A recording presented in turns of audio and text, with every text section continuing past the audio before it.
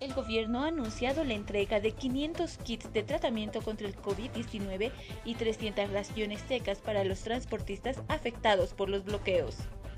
Estamos ya yendo de viaje al mediodía con la Cruz Roja de escolta que le agradecemos ese trabajo que lo está haciendo con las cisternas, con otros medios, escoltándonos.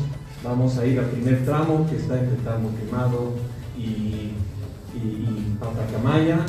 Estamos dotando, gracias al Ministerio de Defensa Civil, de 300 raciones secas que son familiares para 5 personas. La cámara de, las cámaras de transporte nos están ayudando con el, con el transporte, el combustible, con botellones de agua, más de 100 botellones de agua que, nos, estamos eh, llevando.